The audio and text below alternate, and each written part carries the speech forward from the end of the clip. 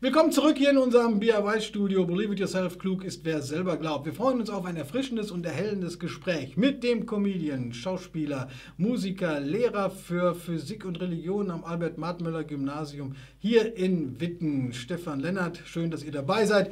Dann sind wir nicht so alleine.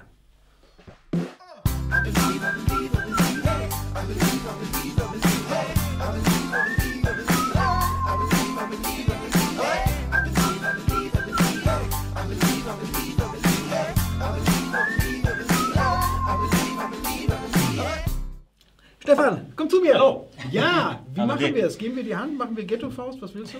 Wir machen so. Machen wir so? Ja, schön, dass du da bist. Ich freue mich wirklich. Ähm, und ich habe dich ja gebeten, fünf Zahlen mitzubringen, äh, an denen man so ein bisschen sich entlanghangeln kann, um äh, hinterher sagen zu können, jetzt kennen wir den Stefan aber. Was sind das für Zahlen?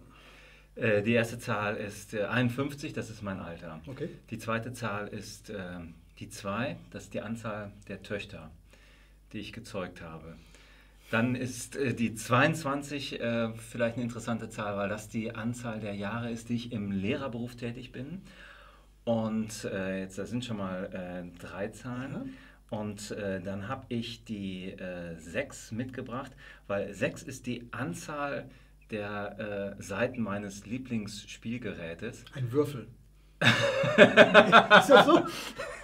Mit AI. Ach so, Entschuldigung. Weil äh, ich, ich äh, liebe es, äh, Gitarre zu spielen. okay. Ähm, und äh, dann habe ich noch die 30 mitgebracht, weil das ist die Anzahl der Jahre, die ich mit meiner Frau Britta zusammen, äh, nicht zusammen bin, sondern verheiratet bin. In diesem Jahr sind wir 30 Jahre Dies, verheiratet. dieses Jahr, also Dieses Jahr. 2022, Im Sommer. 30 Jahre. Ja, genau. 92 haben wir geheiratet. Feiert ihr? Richtig? Was? Oder, oder, oder Äh, einfach, gute zu, Frage. oder fahrt ihr einfach zu zweit? Also, da das ja aufgenommen wird, liebe Britta, äh, ich bringe ihn jetzt nicht dazu, etwas zu sagen, was er hinterher bereuen kann. Also wir haben die Silberhochzeit gefeiert, das hat richtig Spaß gemacht. Das war eine tolle Feier. Und äh, wir haben noch gar nicht drüber gesprochen. Äh, Dann wollen wir auch nichts verraten. Mal gucken, ne? Ja, genau. Ja. Schön. Ähm, deshalb, äh, viele, viele schöne bunte Zahlen, die dein Leben ja auch reich gemacht haben ähm, in, den letzten, in den letzten Jahrzehnten. Ähm, du bist natürlich jetzt auch, du hast selber gesagt, äh, jetzt Lehrer, 22 Jahre, habe ich, äh, 22 hab ich Jahre, ja. richtig erinnert. Ja. Das ist ja schon heftig im Moment gerade als Lehrer, Lehrerin an einer Schule tätig zu sein. Ich glaube, es gibt viele erschöpfte Lehrkräfte, viele desillusionierte Schüler und Schülerinnen. Hast du Mutmachgeschichten so ähm, aus der Erinnerung, aus der letzten Vergangenheit, die du den Leuten mit auf den Weg geben kannst, nach dem Motto, da ist auch noch was, was Mut macht und was einen Freude gibt? Äh, klar, also ähm, ich ähm, im letzten im letzten Jahr, Abitur letzten Jahres, nach, dem, äh, nach der Abiturfeier, kam bei uns an der Schule ein, ein ganz lieber Brief an von Eltern, ähm, deren Sohn Abitur gemacht hatte. Und die haben sich bei der Schule bedankt und haben den ganzen Werdegang ihres Sohnes nochmal Revue passieren lassen und dann immer benannt, welche Lehrerinnen und Lehrer da Anteil gehabt haben, dass der Sohn, den ich gar nicht kenne, äh, der in Klasse 5 und 6 wohl ziemlich schwierig und fast verloren geglaubt gewesen sein muss, wie er von, von Lehrern immer wieder äh, liebevoll äh, angesprochen und ermuntert und ermutigt wurde. Und äh, für die Eltern schien es ein, ein kleines äh, Wunder, zumindest keine Selbstverständlichkeit gewesen zu sein, dass er den Weg zum Abitur gemacht hat. Und äh, ich fand es erstmal toll von den Eltern, dass die, dass die verschiedenste Lehrer namentlich erwähnt haben. Und äh, das zeigte mir auch nochmal, was für, äh, was für tolle Möglichkeiten man in diesem Beruf hat, um Menschen etwas ähm, ja, mit auf den Weg äh, zu geben. Das ist eine Erfahrung. Eine andere Erfahrung habe ich, glaube ich, heute gemacht. Im Unterricht, siebte Klasse Religionsunterricht. Da habe ich äh, jemanden eingeladen, den Lukas Bauer, der äh, hier den, äh, den, äh, den Laden Ethics für faire Kleidung Ja. in Witten hat. Und der hat so ein bisschen erzählt darüber, was, äh, wo unsere Mode herkommt und mit welchen ökologischen und sozialen Problematiken sie verbunden ist. Und da habe ich gemerkt, dass das bei einigen äh, Schülerinnen und Schülern so einen Denkprozess ausgelöst hat. Und das finde ich toll, wenn, wenn, so, wenn so Kinder oder Jugendliche ins Denken kommen und, und irgendwas aufgreifen, was man ihnen zuwirft und äh, das dann in, in, in sich weiter bewegen. Wobei ja gerade eben da die große Herausforderung heutzutage ist, äh, dass ja viele Kinder und Jugendliche eher die Erfahrung machen, ich kann doch eh nichts machen. Also ob, ob, ob ich jetzt äh, was mache oder der berühmte Sack Reis fällt um, äh, das ist doch eigentlich egal. Diese Erfahrung hast du heute Morgen so nicht gemacht, sondern das ist wirklich aufgegriffen worden und es gibt jetzt äh, Impulse zu sagen, ja, das ist schon wichtig, dass man sich darum kümmert. Also die Erfahrung machst du schon, dass ja. junge Menschen das aufnehmen. Also eine Schülerin hat auch gesagt, und siebte Klasse, die sind 12, 13, äh, die hat gesagt, äh, es gibt den Krieg, es gibt die äh, Klimakatastrophe, es gibt Corona, es gibt Ungerechtigkeit dort, Ungerechtigkeit hier. Ich weiß manchmal gar nicht, ich, ich, möchte gerne diese Welt verbessern, aber ich weiß gar nicht, wo ich anfangen soll. Ja. Genau. Das ist, glaube ich, eine wirklich, das ist eine der großen Herausforderungen, äh, denen äh, die Kinder und Jugendlichen heute begegnen müssen, zusätzlich zu dem, was wir ihnen hinterlassen. Also ja. das ist das eine, aber auch zu dem, was aktuell alles noch dazukommt. Das ist ja, ja, wirklich sehr dramatisch. Was brauchen deiner Meinung nach die Menschen in dieser Lehr- und Lerngemeinschaft Schule in diesen Zeiten eigentlich am dringendsten? Was ist das? Zeit. Zeit. Äh, und ähm, in dieser Lerngemeinschaft Schule. Also, äh, also Hoffnung. Zwei große Begriffe. Also, Zeit und Hoffnung. Zeit und Hoffnung. Ich glaube, das, man könnte sogar zusammenbringen, Zeit, um überhaupt mal wieder Hoffnung zu haben. Also man, wird, ja. man, kommt ja gar nicht nach mit der Seele mhm. bei dem, was einem da so äh, über, also über den Weg geschüttet wird. Ähm, ich mache auch eher auch so die, die Beobachtung, äh, dass es gerne auch dann so ein Gegeneinander in dieser Lehr- und Lerngemeinschaft, deswegen nenne ich das so. Also da sind die Schüler schuld, da sind die Lehrer schuld, da sind die Eltern schuld und man schiebt sich das gegenseitig so zu. Ähm, und man hat eigentlich keine Zeit, sich zu begegnen und zu sagen, wir sind doch hier gemeinsam unterwegs. Also sowas wie Solidargemeinschaft. Gibt es das noch an der Schule und in, ja, in welcher Weise bei euch? Äh, ja, also es gibt beides. Es gibt die Falle, da stecke ich auch äh, drin, dass man, äh, dass, man, dass man klagt und äh, auf das System äh, schimpft. Zu Recht, weil es, es gibt auch es gibt Grenzen und es gibt systematische Engpässe. Das hat mit, äh, mit, mit, mit Personalzuschreibungen und was weiß ich zu tun und mit Raumausstattung und so weiter. Also da kann man sich auch äh, gerne darauf zurückziehen und sagen, ich kann ja eh nichts machen. So, mhm. Und das, das kann man auch mal gut begründen und das stimmt auch. Ja. Äh, aber ich erlebe auch die, die Solidargemeinschaft, ich erlebe das im Kollegium, dass da ein, ein, ein gutes Miteinander und Füreinander ist. Ich habe gerade Elterngespräche gehabt, die uns Lehrern äh, die Organisation einer Klassenfahrt abnehmen, weil es ihr Interesse ist, unser Interesse ist, auch ja. mit den Kindern nochmal loszufahren. Ja. Und die dann total hinter uns stehen und uns Dinge abnehmen. Also das, äh, das, das gibt es auch. Ähm, erlebst du auch Situationen, die ja auch jetzt äh, immer greifbarer sind, dass die psychischen Belastungen von Kindern und Jugendlichen auch in den Schulen schon so greifbar sind, dass es mehr geworden ist, dass, dass, dass, dass Kinder und Jugendliche kaum mit den Belastungen zurechtkommen? Wie, wie nehmt ihr das auf in der Schule?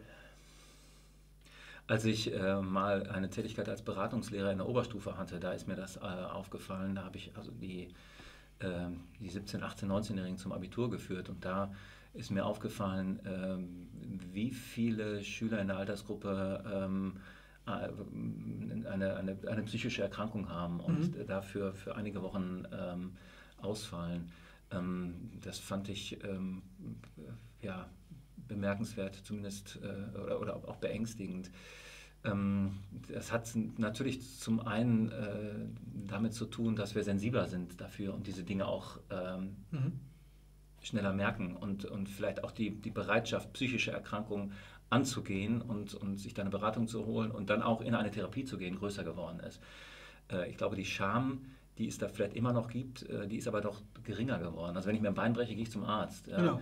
Äh, wenn ich durchhänge, ähm, gehe ich zum äh, Therapeuten, vielleicht noch nicht. Also da ist die Scham mhm. größer. Ne? Und dann ist es ist auch gut, ähm, dass, da auch eine professionelle Hilfe in Anspruch also zu nehmen. Die Aufgabe der, des Zuhause ist es, das habe ich jetzt auch wahrgenommen, die Widerstandskräfte des Kindes, des Jugendlichen zu stärken. Das mhm. ist das eine. Also selbst Selbstbewusstsein und Wahrnehmung von Möglichkeiten. Was ist die Aufgabe der Schule in, diesem, in dieser besonderen Herausforderung, dass äh, Jugendliche immer mehr unter seelischen Belastungen äh, leiden? Das ist, äh, ist eine schwierige Frage, weil wir sind, wir sind keine Therapeuten. Also wir, ja, das wir glaubt können, man immer gerne. Ja, genau. äh, ja also es, es, gibt auch viele, viele Wünsche und Anforderungen an Schule und äh, wir bilden, wir sorgen für Bildung und versuchen zu erziehen und äh, sind aber äh, auch hoffentlich wache Menschen, die Dinge beobachten. Ich glaube, das ist eine Aufgabe von Schule, die Dinge beobachten, wahrnehmen und dann in Dialog gehen müssen mit den Eltern. Jetzt wechseln wir die Perspektive Und äh, jetzt, äh, ich weiß nicht, ob Lilly und Lea das dann sehen werden. Bist du als Vater anders als als Lehrer? Nee. ich weiß gar nicht, welche. Also, ich habe ja meine Tochter mal unterrichtet. Echt? Ja, ja. War das schwer? Oder äh, ging das? Das ging. Also Lilly fand es erst richtig doof und nach einer Woche des Zurechtruckelns haben wir das mit Humor genommen. Ja, sicher. Äh, ich, ich weiß es nicht. Bin ich, ich bin natürlich in einer ganz anderen Rolle. Aber äh, irgendwann fanden wir es, glaube ich, auch ganz lustig. Und dann sagte Lilly, äh, auch als ich mal die Hausaufgaben kontrollierte, ich, ich komme aus prekären Verhältnissen, ich habe die Sache nicht dabei. ja, guck, was macht man dann? Hast du da eine Möglichkeit, hast du einen Rollenkonflikt? Nee, dann sage ich, ja, schlimm. Also da kann ich keine Rücksicht drauf nehmen, ist trotzdem. Äh, muss man bei deinen Eltern anrufen, dass dann. Äh ja, und der, der, der, der schönste Spruch war, dass Lilly einmal sagte, ich habe in Physik eine 2 weil äh, meine Mutter mit meinem Physiklehrer schläft. Das war cool. Ne? So, ja, man, man, muss gucken, wie man an seine Noten kommt. Das kann ich, das kann ich sehr ja, ja, genau. Ähm, Corona-Zeit zu Hause, Homeoffice, alles, was damit so zusammenhängt. Ähm, äh, merkt ihr da Veränderungen auch oder Nachwirkungen jetzt noch äh, in der Entwicklung oder merkst du in der Entwicklung deiner Töchter? da noch Nachwirkungen oder was kommt da noch auf uns zu? Wie gehst oder wie, wie, wie begegnet ihr diesen, diesen, diesen, diesen Begleiterscheinungen dieser Krise der letzten zwei Jahre zu Hause? Ähm, meine, äh, gut, meine Töchter hat es getroffen äh, in der Zeit, in der die eine Abitur machte, die andere studieren ähm, äh, wollte oder auch studiert hat. Äh, und da hatten die natürlich ähm, Einschränkungen ähm, in der Realität von Schule, im ähm, im, im, im, äh, im sozialen Bereich. Es hat aber beide, ähm, ah, die Lilly hat, äh, also was ich jetzt sagen wollte, ist, es hat beide getroffen in einer Zeit, in der sie äh, jetzt schon Jugendliche oder ähm, junge Erwachsene waren. Ich glaube, das ist nochmal eine andere Nummer, wenn man das mit kleinen Kindern durchmacht. Für Lilly war es insofern schon schwierig, dass sie das, ähm, dass sie einen Auslandsaufenthalt, äh, der geplant war, mhm. ähm, für den sie sich bewerben musste, nicht äh, antreten konnte, weil das abgesagt war. Neben ganz vielen allen Einschränkungen war das für die, glaube ich, richtig viel zu knacken. Äh, und für Lea ähm, ja, war das erste, das erste Studienjahr war das erste Studienquartal lief okay und dann kam der Lockdown. Also die hat die erste Zeit wirklich nur im, äh, wie viele andere auch, äh, im, äh, in Online-Formaten äh, durchlebt. Ähm, also ich, ich, ich erlebe es eben bei meiner Tochter, die dann irgendwann mal sagte, nachdem sie das, nachdem sie sich, eigentlich gut in, diesem, in dieser sozialen Distanz eingerichtet habe, mhm. äh, nachdem wir so ein paar Tage Schule waren, auch Papa, ich glaube, ich will wieder Lockdown haben. Also dieser Rückzug äh, auf sich selbst, dieser Rückzug in die soziale Isolation, in der man sich gut eingerichtet hatte, ähm, war dann tatsächlich auch ähm, ja, schon verinnerlicht und sagt, das war eigentlich gar nicht, ist gar nicht so schlimm. Also ich glaube, die ersten äh, Wochen haben Sie durchaus auch so erlebt, dass es so ein, äh, ähm, also dieses, diese Entschleunigung haben ja viele, mhm. also ging mir auch so. Den ersten Lockdown habe ich durchaus auch als angenehm empfunden, weil er das Leben entschleunigt hat. Das ging aber nur bis zum Sommer und dann war es nicht mehr, war es keine Entschleunigung. Dann war es nicht mehr nee, schön, ne? Nee, nee. Also ich glaube, die beiden haben sich da ein, mit arrangiert so und genießen aber und haben auch immer genossen jede, jede, jede Freiheit, die, ähm, die sich da geboten hat. Deine Unterrichtsfächer sind unter anderem Religion äh, und Physik und jetzt mhm. tatsächlich auch Mathe, wie du gerade sagtest. Ähm, Religion und Naturwissenschaften, also um mal das Thema ganz anders, äh, also um das Thema mhm. zu wechseln. Ähm, wie geht das für dich zusammen? Also man sagt ja immer äh, so, also Religion, da wird eben geglaubt und bei dem anderen wird gewusst. Ähm, wie kriegst du das zusammen? Das sind ja zwei äh, unterschiedliche Herangehensweisen äh, zu der einen Wirklichkeit, wie man sagen. Und äh, mhm. jeder Mensch braucht beides. Also das eine in, mit den Naturwissenschaften, da versucht man die Realität zu zerlegen in kleine funktionale Einheiten und die versuche ich zu verstehen. Also ich mache Experimente, oh, es fällt runter und, ne, und guck mal, dann können wir mal messen. Ist wiederholbar, ne? Das ist, ist ja, ist reproduzierbar. Das ist ja wichtig, ne? Äh, wie lange gibt es ein Gesetz zwischen, der, zwischen der, der, Strecke und der Zeit und so weiter? Das versuche ich zu, zu analysieren und zu beschreiben. Dann kann ich damit Maschinen bauen und, die, und Autos bauen und so weiter.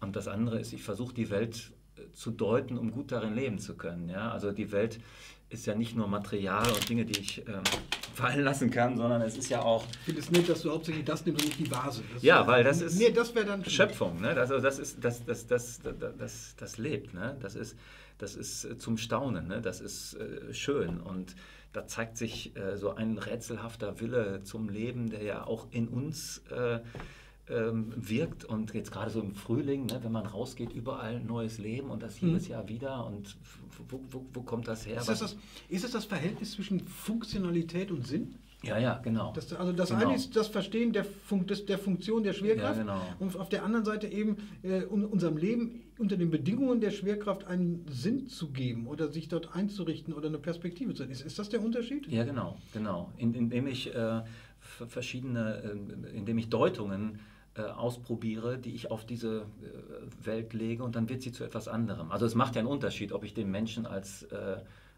Ebenbild Gottes sehe. Das, mhm. meine ich, das meine ich jetzt mit Deutung. Ne? Mhm. Äh, und, und auch den, was weiß ich, den anstrengenden Schüler, anstrengende Kollegen, anstrengende äh, Eltern als Ebenbild Gottes sehe oder, oder eben nur als, ein, äh, als einen Idioten. So. Ist uns das verloren gegangen, der Welt eine Sinnhaftigkeit, unserem Leben eine Sinnhaftigkeit zu geben? Ist ein bisschen eine Suggestivfrage, ja. klar, aber. Nö.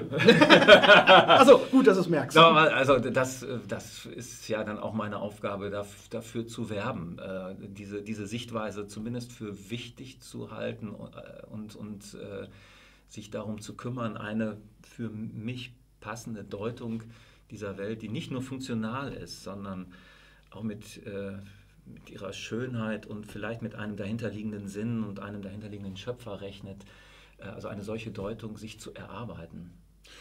Ich habe dich auch mehrfach in alltäglichen Bezügen erlebt, in denen du ganz selbstverständlich gesagt hast, ich lass uns mal beten. Und äh, das fand ich sehr beeindruckend, ähm, weil es selbstverständlich im Alltag und nicht nur in irgendwelchen kirchlich-liturgischen Bezügen vorkommt. Mit welcher inneren Einstellung und mit welcher Erwartungshaltung betest du? Äh, dass ich damit etwas in die Nähe Gottes rücke und das ist gut was auch immer das heißt, das weiß ich manchmal selbst nicht, weil ich Schwierigkeiten damit habe, äh, Gott als, ähm, ein, ähm, als eine Macht anzusehen, die direkt in diese Wirklichkeit äh, eingreift und die der äh, Herr dieser Welt ist, in dem Sinne, dass die Dinge hier geschehen, äh, weil Gott sie so bewirkt. Ja? Mhm.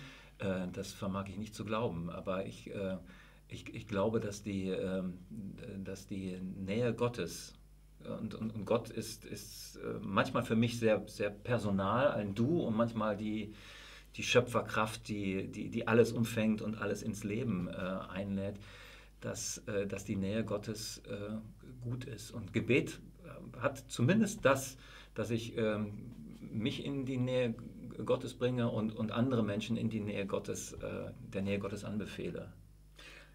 Und in der Erwartung eben, dass tatsächlich äh, das Öffnen von Türen, äh, von, von, von Sphären, von Perspektiven ähm, durch das Gebet eben dem anderen gut tut und auch dem anderen Weg öffnet, den er vielleicht vorher nicht gesehen hat. Ja. Das ist ja auch so eine Perspektive. Ja. Ähm, Kirche hatte schwer, äh, jetzt äh, gerade auch in diesen Zeiten immer mehr.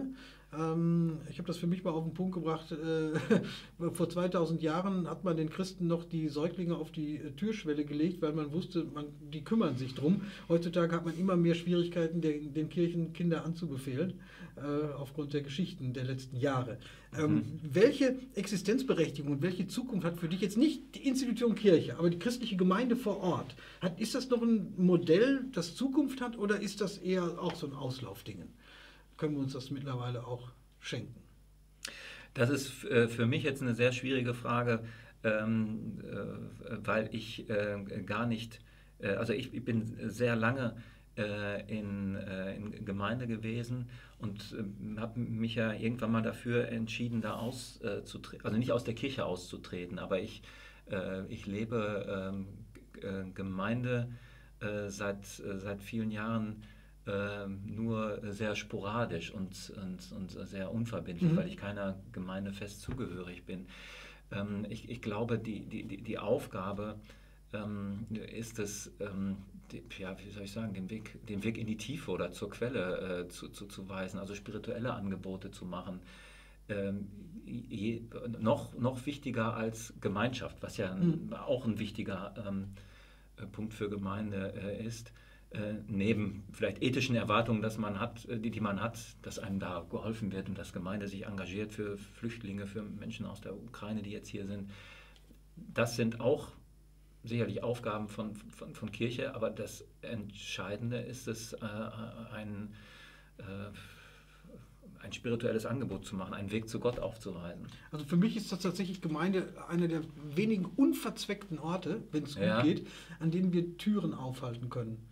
Einfach Türen aufstehen lassen, Türen zum Himmel, Türen zum Nächsten, Türen zu mir selbst äh, und dabei helfen, durch diese Türen durchgehen zu können. Also neue Ja. Räume zu entdecken, die ich von selbst aus im alltäglichen Geschehen nicht betreten würde, weil die anderen Anforderungen um mich herum so vielfältig sind, die mich zerren und ziehen in alle möglichen Richtungen. Und Gemeinde ist ein Ort, der Türen aufhält. Das wäre für mich so eine... So eine, so eine Das ist ein schönes Bild. Wir haben ja neulich zusammen, wir haben neulich zusammen einen äh, Gottesdienst, einen Schulgottesdienst ähm, gemacht mit Schülern, äh, Schülerinnen und Schülern vorbereitet. Und ja, also ähm, ein, ein Gottesdienst ist ja keine Veranstaltung, in die so ein Schüler äh, so freiwillig Genau. und natürlicherweise hingeht, sondern der, der geht vielleicht, wenn er Interesse hat und es die Schule ähm, macht sowas und die Mitschüler haben es vorbereitet und so weiter, dann kommt er da mal rein und äh, so eine Tür in der Form, dass man, dass man sagt, guck mal, es ist in dieser, in dieser Wirklichkeit gibt es, gibt es noch mehr. Hm. Ja, genau, sehen, ne? dass es noch mehr Äh, gibt. Das finde ich, glaube ich, ist ein ja. wichtiger, wichtiges Bild für Denk das mal für dich durch. Es könnte ja sein, dass es, dass es stimmt. Genau. Ne? Das,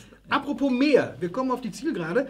Ähm, und zwar, wir bitten unsere Gäste immer, ähm, einen Tipp mitzubringen. Was muss man unbedingt mal gemacht haben? Welches Buch gelesen, welche Platte gehört, welches Gericht gekocht, welchen Berg bestiegen? Muss nichts mit dem Thema zu tun haben. Was muss man nach der Meinung von Stefan Lennart unbedingt mal gemacht haben? die Frage verleitet ja dazu, etwas Großes und Exotisches zu nennen. Ich fange mal mit etwas Kleinem an und das richtet sich an die Wittenerinnen und Wittener. Äh, Also den Schwesternpark, den sollte man mal besucht haben. Echt? Das ist, ja, den finde ich toll. Also gerade jetzt im, im, im Frühling, ja, wenn dann äh, alles anfängt äh, im Azalental äh, zu blühen und es gibt überall Rhododendren und es ist, es ist toll. Also ein kleiner Park äh, in der Nähe des evangelischen Krankenhauses, der äh, Anfang des 20. Jahrhunderts mal angelegt wurde, um den Schwestern äh, Schülerinnen Heimat zu bieten. Deswegen wurden so verschiedene Landschaften, die es äh, in, in Deutschland gab und gibt, dort nachgebaut, gärtnerisch nachgebaut. Das, Mhm. ist, so ein, Okay. das ist so ein kleines Juwel. Also Schwesternpark in Witten muss man mal besucht haben, um zu sagen, Ja. man hat was Schönes in Witten gesehen. Und ja, genau. Okay.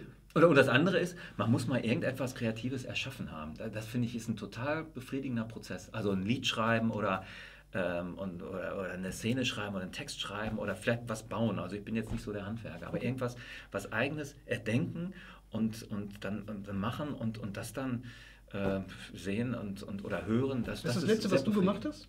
Was ist das Letzte, was du gemacht hast? Ich habe einen Heavy Metal Song geschrieben. Nein. Das ist ja. Ja. Ja, Auch schon, Weil- äh, ist, der schon, ist, der, ist der mal irgendwann öffentlich schon mal gehört worden? Oder? Äh, nein, also ein, ein Freund von mir, der hatte mich gefragt, weil der, der einen Sänger hat und der, der brauchte für ein Projekt einen Song. Da hat er mich gefragt, ob ich da mal was, was schreiben würde. Und da habe ich zwei Songs geschrieben, ja. Das müssen wir noch mal live hören. Wunderbar. Ähm, letzte Geschichte. Und zwar, wir bitten auch die Gäste immer einen Gegenstand mitzubringen, der bei uns hier im BIY-Studio zurückbleibt. Was hast du uns denn mitgebracht? Ein Lesezeichen. Man sollte mehr lesen. Aber das ist ein besonderes Lesezeichen. Äh, Das ist ein äh, Giveaway aus einem Schulgottesdienst, den ich mal mit, ähm, äh, mit, mit Schülern und Eltern zusammen vorbereitet habe. Äh, zwei Dinge. Einmal äh, fand ich bei den Schulgottesdiensten äh, immer interessant, dass im Vorfeld immer gesagt wurde, kommen denn da überhaupt welche? Also äh, das war jetzt ein, Schul ein Einschulungsgottesdienst. Ich Mhm. habe auch, auch oft mit Abiturienten welche gemacht. Kommen denn da überhaupt welche? Vielleicht sitzen wir nur mit 20 Leuten. Die waren immer voll. Es war immer ein großes Interesse da. An so, in so manchen so Umbruchssituationen, da werden Menschen sentimental und denken, vielleicht gibt es noch mehr als Geld und Autos und Haus und so. Also da werden sie irgendwie offen und empfänglich. Ähm, und das, das an sich war schon mal eine schöne Erfahrung. Und dann äh, war das Thema Blick mit Blick ins Herz. Ein Mensch sieht, was vor Augen ist, der Herr aber sieht das Herz an. Ja, aus dem äh, ersten Samuel-Buch. Das finde ich ist ein äh, total wichtiges Motto, gerade für, gerade für Lehrer. Weil man sieht manchmal so bescheuerte Kinder, wo man denkt, ey, der nervt mich und so. Und dann aber nochmal so eine andere Deutung zu bekommen und zu sehen, ey, das ist aber auch ein total wertvoller Mensch und der kann auch, äh, kann auch ganz anders sein. Das, das, lass, das lässt du uns hier. Das lasse ich euch Ich danke dir. Das erinnert uns eben daran, dass wir auch immer sehr tolle Menschen äh, bei uns zu Gast haben, die uns dabei helfen, den Blick fürs Herz äh, der anderen nicht zu verlieren. Lieber Stefan, danke. Es hat sehr viel Spaß gemacht. Der Frank an der Technik fragte am Anfang, äh, sag mal, soll ich dir nach zwölfeinhalb Minuten wieder ein Zeichen geben, damit ihr zu Ende kommt, oder soll ich das mal lassen? Ähm, anscheinend hab ich, haben wir irgendwie so ein... Äh, so einen Draht und sagen. Ja, ich war eingeschlafen. Du warst eingeschlafen. danke, danke, dass du wieder zum, Ab zum, zum, Abspann gleich wieder wach wirst. Das war echt toll. Ich danke dir für deine Zeit und deine Offenheit. Ich hoffe, unser Gespräch bringt euch ein bisschen ins Nachdenken über Gott und die Welt und die Gemeinde und was euch so am Leben wichtig ist. Wir werden gleich mit dir eine neue, ein neues Format äh, als Premiere eröffnen und zwar MLKG BIY Kulturgut. Das sind ähm, kleine Konzerte, Lesungen, ein bisschen Kleinkunst, ein bisschen Kabarett, ein bisschen Zauberei, je nachdem, was unsere Gäste möglicherweise auch mitbringen. Das wird in den nächsten Wochen veröffentlicht werden, immer mal wieder und sporadisch und wir begeben uns gleich in die Kirche und machen mal da drei Songs und gucken mal, wie weit wir kommen. Ich danke euch, wünsche euch eine tolle Woche, äh, kommt gut durch die Zeit, ähm, denkt immer dran, klug ist, wer selber glaubt. Wir sehen uns, bis denn und dir vielen Dank. Vielen Dank, hat ja, Spaß gemacht. Danke. And I said, oh my God,